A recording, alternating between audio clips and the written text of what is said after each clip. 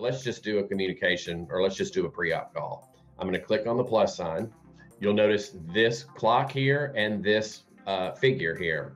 Um, if I click on the clock, you'll notice these throughout the application. If I click on the clock, it's going to default to the current date and time.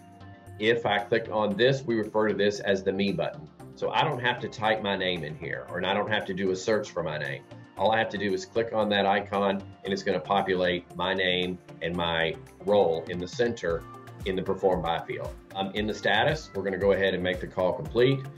We chart by exception here, so we're going to default to the most commonly used answers, which is we spoke with the patient, yes. I can change that. Maybe I spoke with their guardian or their caregiver. I can put that there.